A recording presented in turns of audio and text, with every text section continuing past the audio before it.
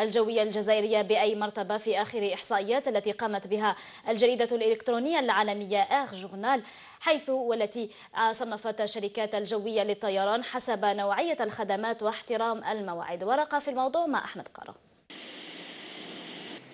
يبدو أن الجوية الجزائرية تدفع ثمن سوء التسيير والذي أظهرته جليا الجريدة الدولية اير جورنال المختصة في مجال الطيران. ففي آخر الإحصائيات لم تتمكن الجوية الجزائرية من الحصول على أي مرتبة من حيث نوعية الخدمات واحترام المواقيت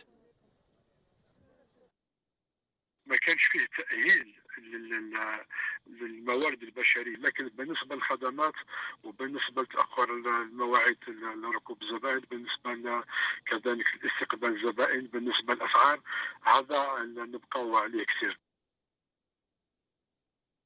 الترتيب الذي جاءت به الجريدة الدولية زادت من مأساة الجوية الجزائرية وبينت صورتها الحقيقية بل أكثر من ذلك حلت أضعف الشركات الإفريقية للطيران على شاكلة إثيوبيا للطيران التي جاءت في المرتبة الرابعة وأقل شأنا منها المغربية للطيران في المرتبة الثامنة.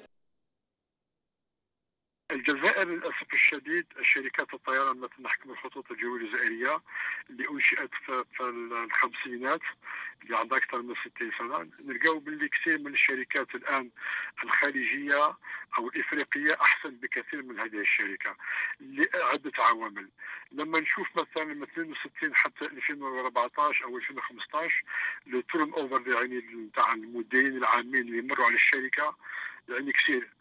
يعني الاختيار ما كانش مناسب بالنسبة للمديرين العامين للشركات